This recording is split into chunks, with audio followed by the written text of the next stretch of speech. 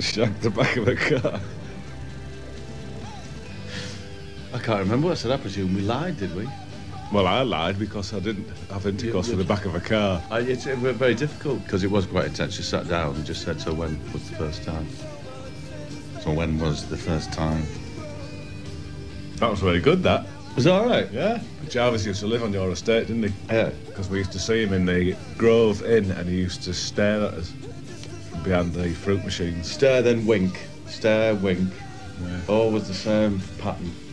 But always there behind the fruit machines, looming. Yeah. And he was always in the local shop at Mistral, just fingering the veg. no, could never make his mind up.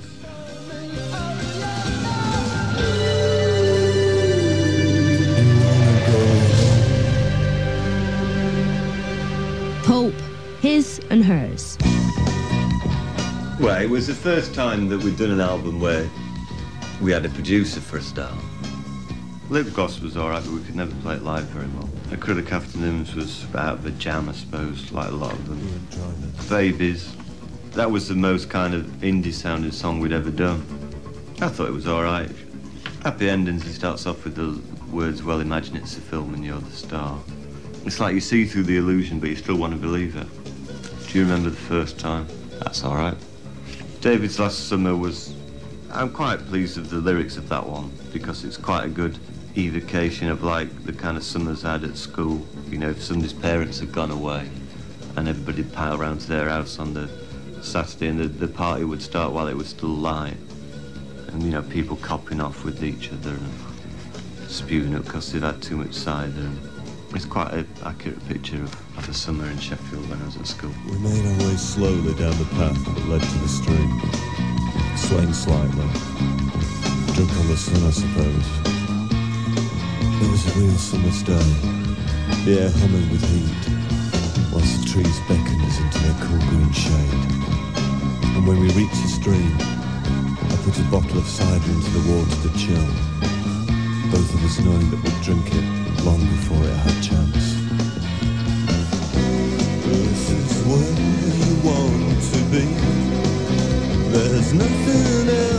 Well, in a way, the songwriting up till now has been so much about being an underdog in a way, about about overcoming insurmountable odds, you know, and having overcome insurmountable odds, succeeding. I've always had a bee in the bonnet, or an axe to grind, whichever cliche you'd like, um, about being sold an illusion by songs and TV. When I got older and I started to have like uh, relationships and stuff, and found out that life doesn't necessarily have a gripping plot. So I felt that I'd been conned in some way. And so it was always a thing from early on to try and write about what those things really were like rather than the way they were presented in songs and stuff. You know, people do live life at just an as an extreme emotional pitch in a place such as Sheffield, which, which has got a lot of faults, you know, but, but people still fall in love and live and die in those places. And um, I, I couldn't see that anybody was representing that, you know. And I thought, it's just as dramatic as it happening in Beverly Hills or something. Jarvis is a master of lyrics, I would say. Jarvis is a really annoying person to work with and to live with, as I, as I have done and most of Pulp have done. You can send him to go and get your heart pacemaker from the hospital and he'll forget it, but he'll remember that you'd got like a, a little Subbuteo man from Coventry missing and he'll see one in a jumbo sale and get it you and bring it you back. I mean, that, that's Jarvis, you know, the small details is what he does and I think that, that, that, that comes across in his lyrics. I guess when I was in hospital when uh, I'd fallen out the window and I, I couldn't do anything else but think and I thought what I enjoyed and what I didn't and just purely aesthetic things seemed pretty boring and dull. And I found that just like little details and little odd things that you wouldn't expect to be enjoyable were more enjoyable and so I decided to put more of that into the songwriting. He's just got a knack for doing the most appropriate thing and I, I think I think the, the music and the lyrics are just a very well tailored suit. I don't want to listen to somebody singing about what a great time they're having. If you're not having a good time, it's the most irritating thing in the world. Wake up, it's a beautiful morning. If you wake up and it's pissing it down outside and you're really depressed, you just want to chuck the radio out of the window. You're looking thin, river is lip gloss and cigarettes. Snaps at the end of the day when it's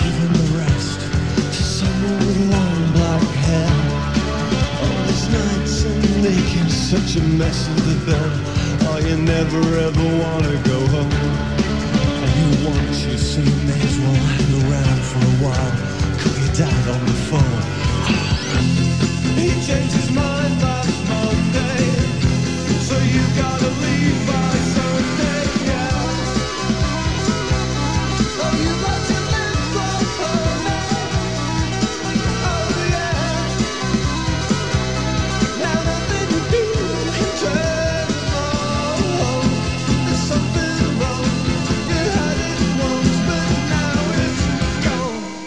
Pulp, do you remember the worst time? Well, we went down to Brunel University, but then uh, it got cancelled. But we pretended that we hadn't got the message that it was cancelled.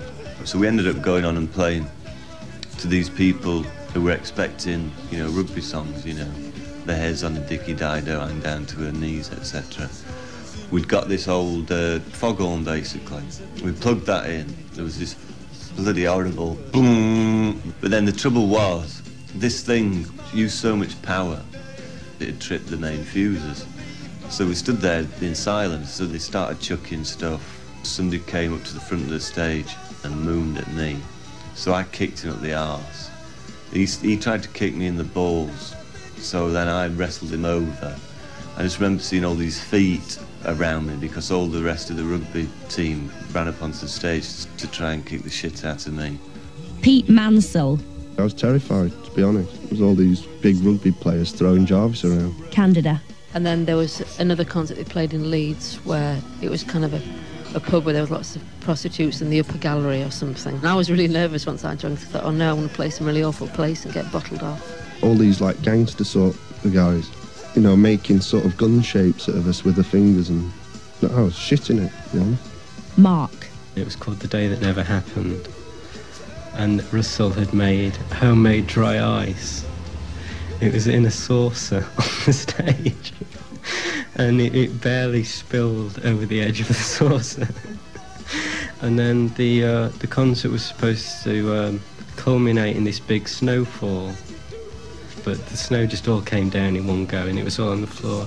And me and my friends were like running across the stage with like these big hair dryers trying to like make the snow come back up in the air. And and it was all a bit pathetic really. Steve. Jarvis he threw his arm in the air, which knocked his glasses off, which then he tried to find, but he couldn't find them, and the band kept on playing the song, and it went on for about 15 minutes. And he was on his hands and knees, and eventually I think they found them, and they were, they were in the bass drum. So, there we have it. Pulp remembering their first times. More lineups, record deals, managers, and chairs thrown at them than I've had hot meals. Next week, things get even weirder as Pulp enter the big time. If you want something to happen enough, then it actually will happen. Okay. And I believe that. In fact, that's why we're stood on the stage today after 15 years. Because we wanted to happen, you know what I mean? So, if a lanky get like me can do it, and us lot, yeah, you can do it too, alright? Glastonbury to me embodies everything, well, and magnifies everything that's bad about festivals. Stone Roses had pulled out, and then it was either going to be us or Rod Stewart. Uh, Rod Stewart? Eh? Oh, they can't have Rod Stewart Saturday night in Glastonbury, surely. They asked everyone and his mother to do it before they got around to asking us. It ended up being us, and it was just amazing. Maybe I had a, a foresight of what was coming. I don't know. Another great pinnacle. Also, the most uh, trouser loosening experience ever. It kind of culminated in playing Common People, which had just been a hit. And that was quite a moment, you know, just um, the whole place exploded, really. It was just so right at the moment, yeah. It was number two in the charts. It was just, it was there. Everyone was singing. Everyone's going absolutely crackers. And it was just bang, there, fantastic. I was stood at the back of them playing. That was like, it made you feel like the whole family. I suppose it just crystallised the whole year in a way. And so says, uh, that's the defining moment of 1995. So, on that positive note, this is the last song. We can't play any more after this. This is Carmen P.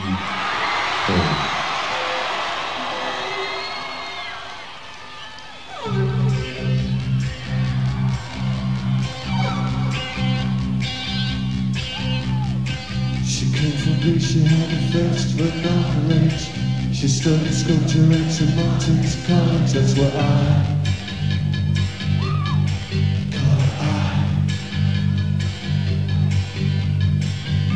She told me that her dad was loaded I said my case for was rumor Coca-Cola She said fine.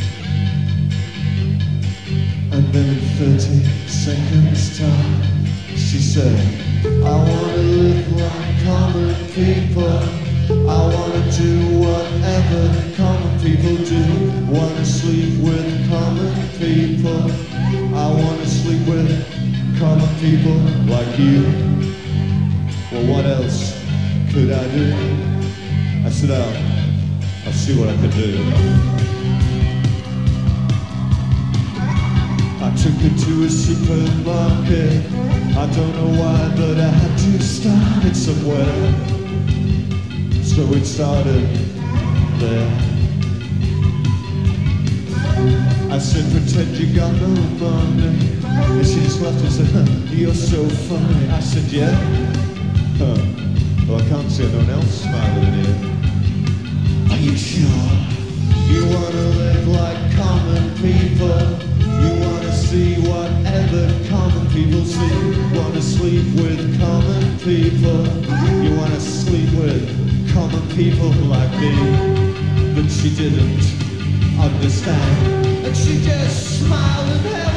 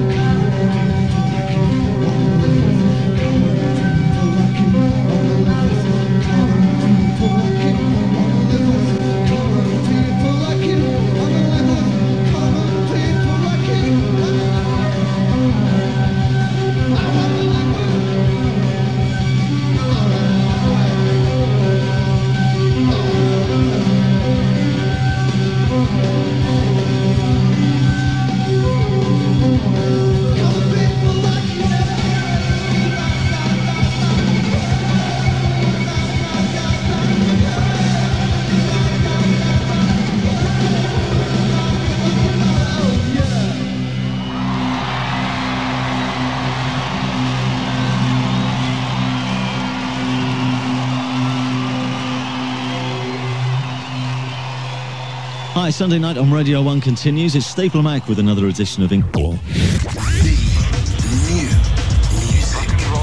That's different. 97 to 99 FM. Radio. Radio. Radio 1. I have to introduce you to the members of the band. This is Steve. Steve, what instrument do you play? The bass. Oh, fantastic. Okay. This is Mark. Got nasty cut there, Mark, have you fallen over recently? Did you fall over your guitar lead? Did you? This is Nick. He plays the drums. This is Candida.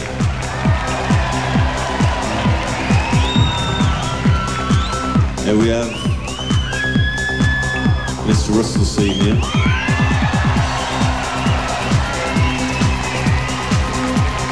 One thing these people have in common is that they once were.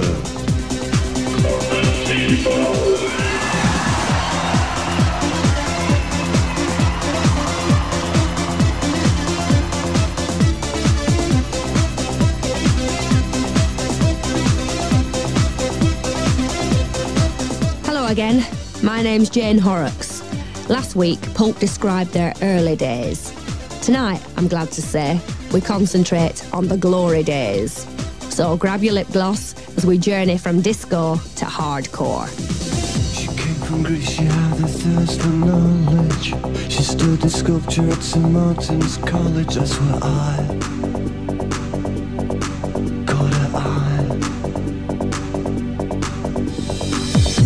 She told me that her dad was loaded.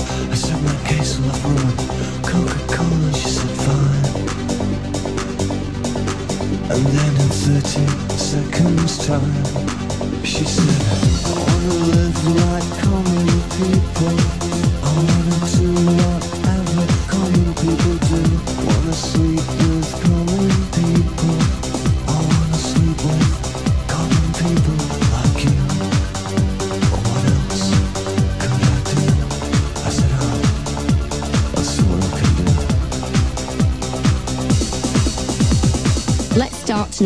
reminding ourselves of the Pulp philosophy. Russell Senior.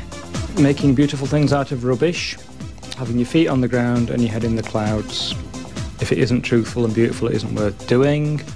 And if you have the temerity to go on stage, you should think that you're the best band in the world.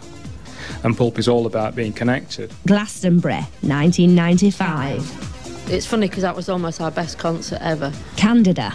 But I don't think any of us really enjoyed it. Jarvis Cocker. All the week before, I'd been having these anxiety dreams. I had this dream where I was walking around the site and uh, I looked at my watch and it was two o'clock, and suddenly I thought, shit, you know, we were supposed to play at 11.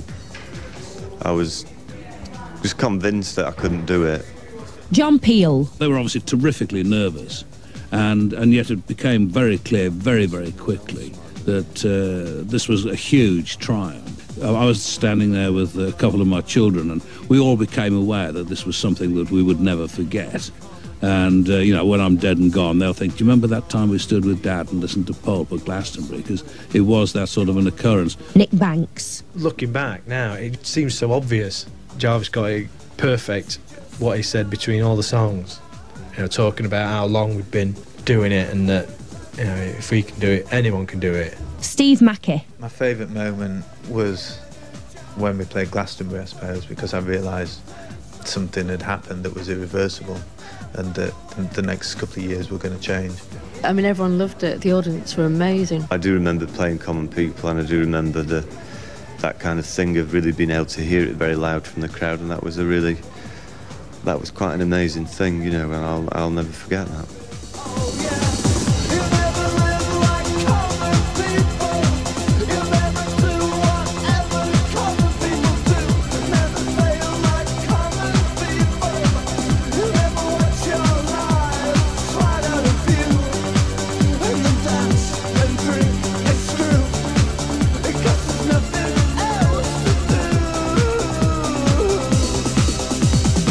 Pulp's success. Common People, I suppose that's when we were really a success. I mean, the previous kind of three or four years had, had been a kind of a gradual getting more and more known. But that was the first time that it was really a mass thing. Me and Jarvis would, were working in my basement in King's Cross in London. It was about five in the morning. And I can remember thinking it really was a good song. And you don't get that feeling very often uh, that it's something special. You know, I never set out to write an anthem because I really usually hate rock anthems. You know, they're usually really crass. But it, it did turn out a bit that way. Mark Webber. It kind of is an anthem. And we were at Radio 1 Roadshow. For some reason, the charts that week were live. There was loads of bands there backstage. And uh, unless you made it your business to know, you didn't necessarily know what number your record was in the charts. And then suddenly uh, it was number two. It's quite a shock. Obviously, my mother was proud of it all. She'd probably given up hope, thinking I was just, you know, I've wasted my intelligence on just farting around in bands, you know, for a decade or whatever. And then suddenly we became successful. And um, so she was proud. So she had, she got one of them CD things with shuffle thing on it. So there'd be like five CDs and I had to make her take it off in the end. Also, my stepfather had, had wired it up so there were speakers in just about every room, so you just couldn't get away from it. I just found it really didn't seem appropriate somehow. Didn't seem right. Well, I felt pleased. Oh, yes, when they when they did finally break through to a sort of mass audience, I was extremely pleased for them because I think they're a good band. You know, when you consider the number of bands that break, break through to that audience who are essentially crap, to have a good band come through and do it was really rather wonderful. But uh, I did feel uh, and still feel enormously guilty about not having supported them during the, the difficult years.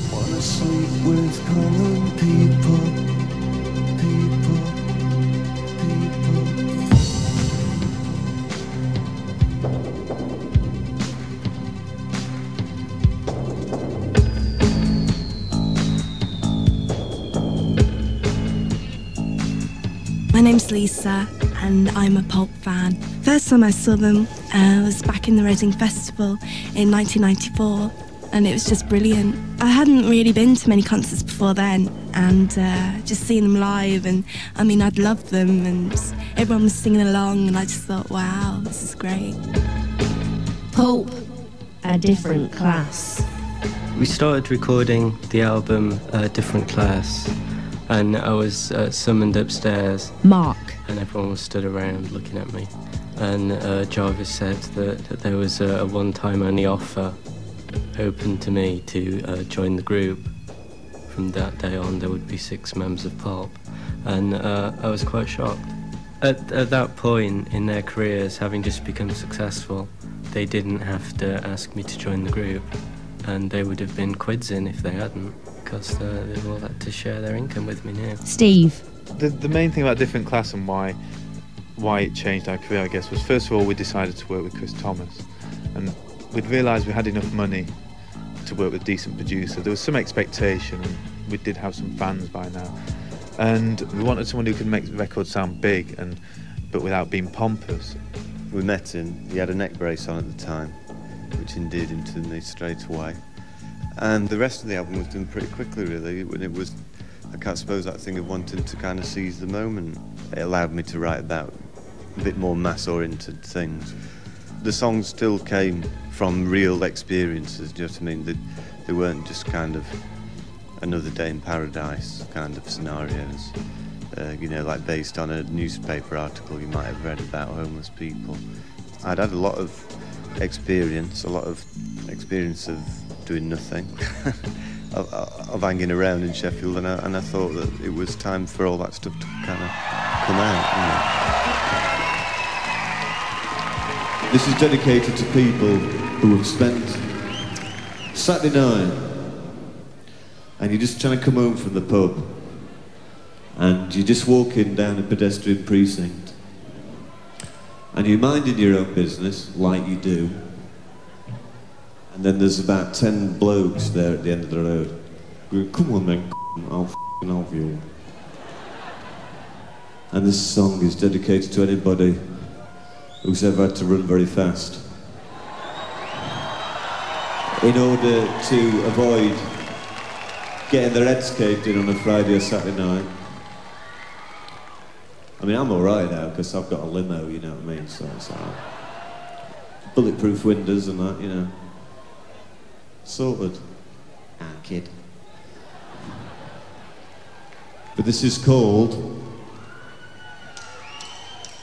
Misshapes, mistakes, misfits Raised on a diet of broken biscuits Oh, oh, we don't look the same as you And we don't do the things you do But we live around here too, oh really Misshapes, mistakes, misfits A place like Sheffield's not a very good place to be a nutter. Rob Mitchell of Warp Records. It's the kind of place where if you don't wear a white short sleeved shirt and have a tash in the middle of winter and drink 20 pints, then you're fair game for being beaten up. Brothers, sisters, can't you see The future's owned by you and me It's not the kind of place that appreciates difference. Pulp have always had a uh, very intelligent, emotive, deep songwriting ability.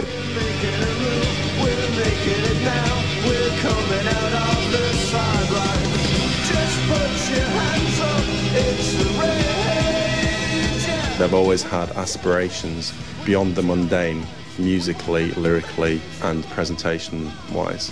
What Jarvis writes about in his lyrics is kind of like um, Alan Bennett plays or something like that. It's, it's very northern, it's very dry, it's very witty, but it's also something that people all around the country can relate to. Check your lucky numbers How much money could drag you under Oh Pulp Passions. It really gives us something to think about in the evenings. Really rather too much to think about. Everyone fancies him, e- even on the men Even me. fancy him. Yeah. Yeah, I, I love him. Yeah. He's gorgeous. I think it's very difficult for any mother to say that she can see her son as a sex symbol, really. Unless they're built like Rock Hudson used to be he has gone by, or I can't think of anybody else. Who would I- Oh, Steve McQueen. Unfortunately, is dead, and he was very short. Yes. Most of the nice ones were. Perhaps it's just something to do with his height. I don't know. You know, who knows what it is that makes you feel that that is true. Um, but quite clearly, I mean, for me, uh, you know, obviously I don't fancy Jarvis, but I can uh, I can see that the fact that he's not like the majority of uh, the people who sing with bands really is attractive enough in itself. You know. The t- trouble is, you know, you, you, you do opportunities to have sex with people you've only just met. He gets offers from everyone, you know, everyone's just shouting, oh, Jobs want to shag you. Yeah. The opportunities really rise. But, you know, you'd be a fool to do it. As I discovered with my beautiful News of the World expose. Just have to keep it locked away. Don't want to do a Clinton, do I? Russell Senior. The phenomenon of Jarvis, the celebrity and sex symbol, as opposed to Jarvis, the lanky get with halitosis and underarm sweat that women avoid. I've, I've shared a bed with Jarvis more than more than most people, other than his girlfriends, and uh, he never he never seemed terribly attractive to me. It's horrible. he wears brown pajamas, horrible things like that. The first person I ever heard who fancied Jarvis was my Auntie Val. It, she, she reminded me of her first husband in the 70s, you know, sort of with all his sort of flared trousers and things like that. But he did start to cultivate it, which was, I think, good for him, really. This is Jane Horrocks, and you're listening to Pulp. From disco to hardcore on Radio 1.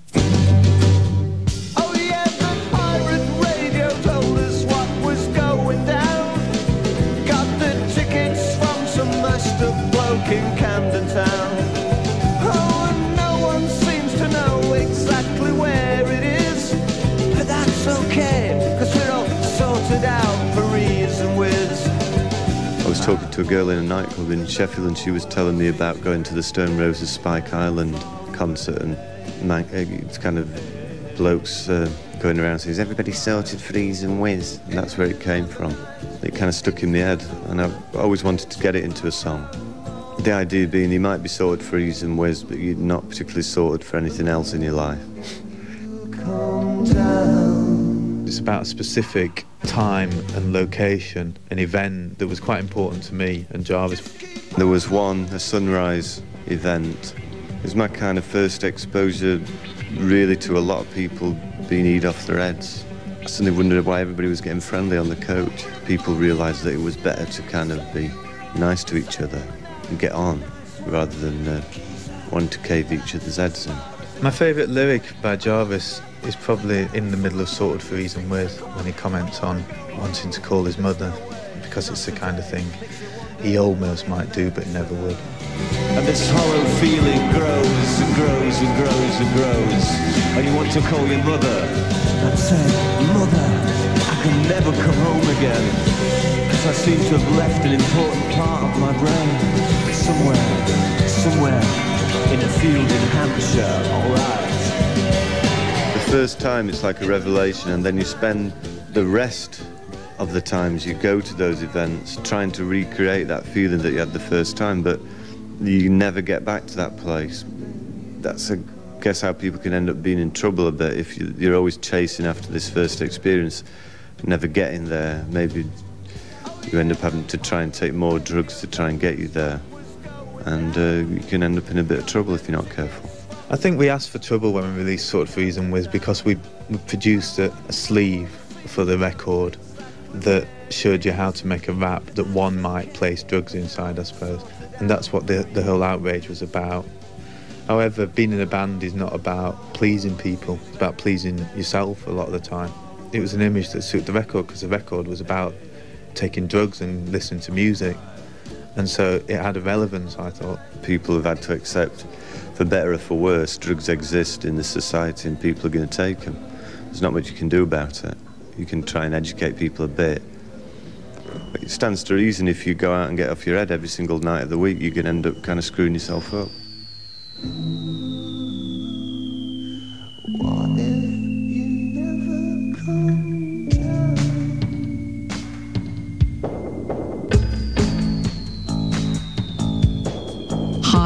Hi, um, and I first got into pulp. Must have been around 1993, and I just got over a really bad affair, and they were on the word, and they were doing Lipgloss, and I was just sitting there in front of the telly, and my jaw was just dropping because he was basically singing my life. and I was just, it was just, oh, blew me away. He has this uncanny ability to understand women. Uh, another great thing about Pulp is, is the fans. There's loads of websites and loads of fanzines. I mean, they're, they're so creative. Um, Pulp is what you want it to be. Russell. I've always been very involved with the fans. I started the fan club off. And I think you learn a lot from them. I think you should listen to them.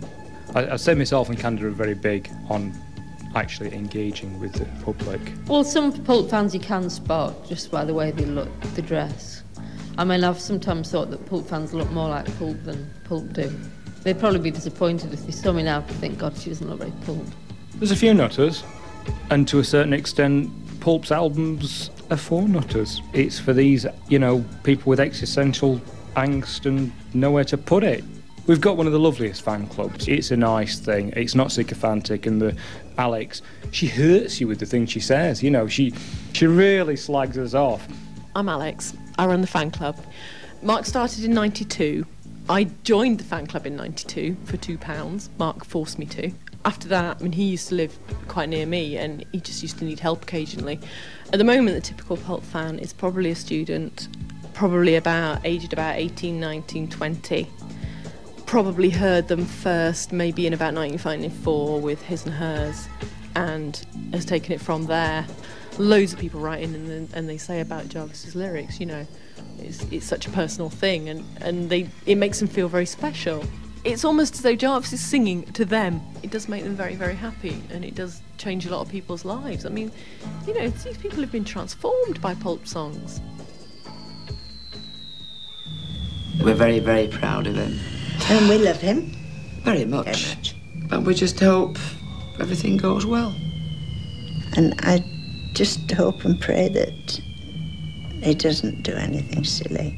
Jarvis Cocker has strenuously denied allegations that he attacked with three News, a children Jackson performing backlash with appears to Michael Jackson. in England. A statement from Michael Jackson said he was sickened, saddened, shocked, upset, cheated, cheated. angry. But if you've never heard of the Brits before, you certainly have now. Michael Jackson reckons he's like God's gift and he reckons all the kids love him and stuff.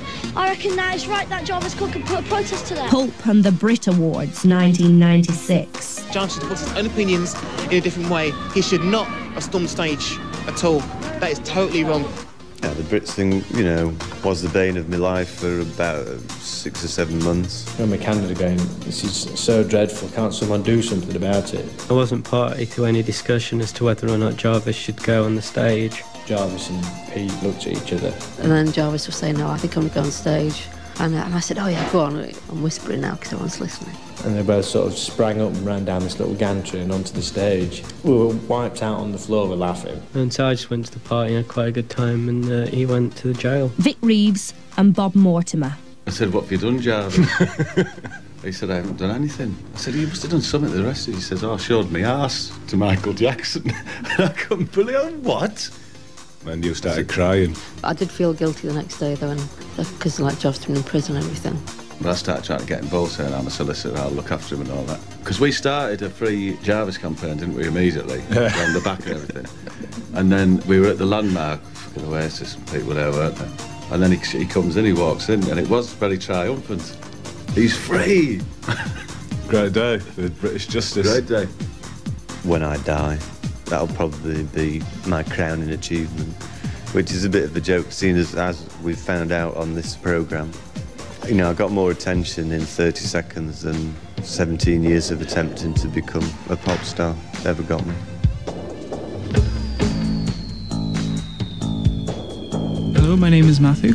Um, first got into pulp because my girlfriend was crazy about them. And sort of since then, really, I've listened to their music and really enjoyed it.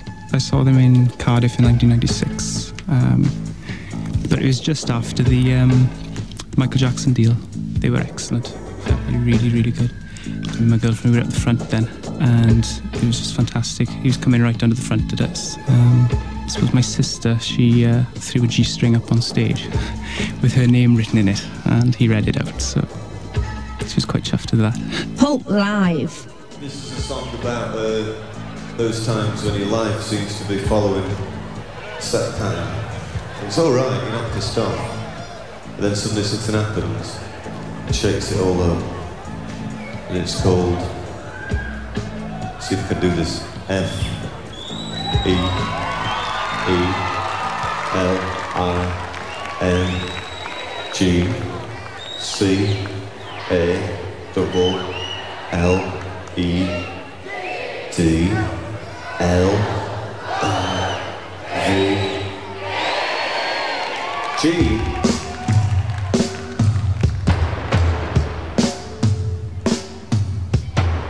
Candida. For the first few years, I used to absolutely shit it before we went on stage. I'd rather have got run over on my way to the concert or had a really bad electric shock and not be able to play than play the concert. I used to really be nervous. Russell. I like kind of concerts with about 600 people in, where you kind of get to see the whites of their eyes and you can you can still fail. Sometimes you know that it's been a great concert. Sometimes you can you don't need to be told because you've connected with the audience. And sometimes you're going through the motions. And I know I know all Jarvis's little tricks. I know all his little asides. It's stagecraft. It shouldn't be knocked. You know, seeing them be created is great.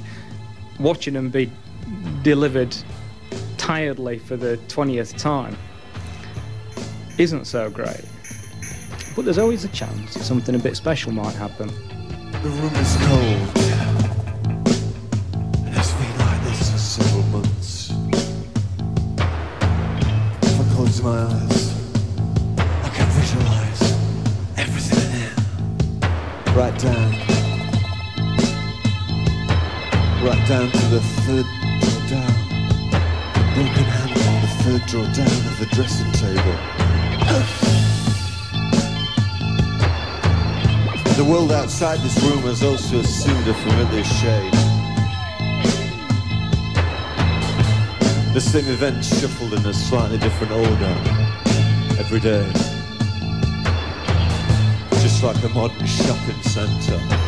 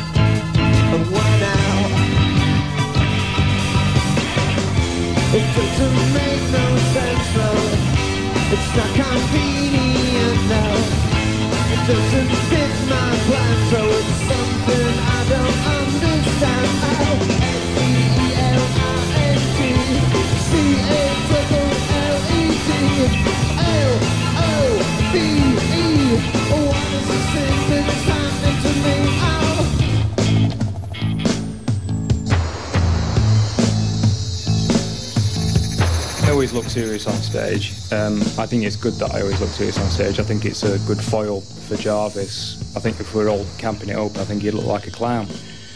I've stood on a stage and, and sort of hated Jarvis singing Common People because I thought, you're just like that. You know what I mean? When you finish your dinner, you push your plate away as if there's somebody else there to get it. You know? I felt when Jarvis was singing Common People that he was a hypocrite because, like, that wasn't his life. He was more like the person who was slagging off. You know what I mean? He was, you know, this celebrity at the time we were doing this thing, and it, you know, he was the person that acted like the baddie in it. But I think that's part of his thing. You know, it's that. I think it's because Jarvis understands that because he's quite like that that bad naughty person. You know, and I, I think he's got a kind of healthy self-loathing, and I, I think that's an essential part of it. is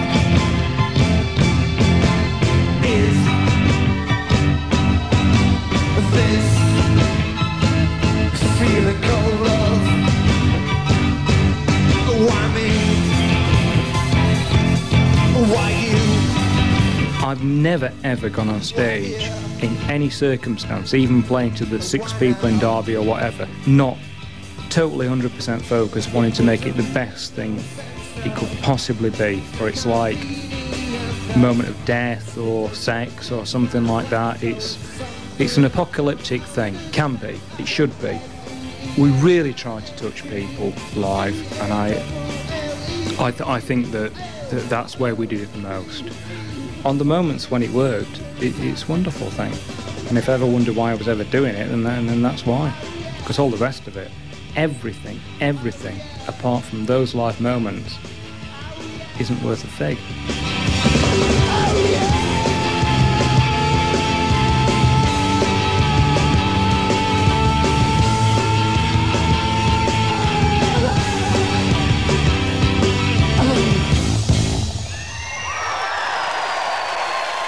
Yeah, and we can now, I think, go to the stage and an announcement from the chairman of the judges, Simon Frith.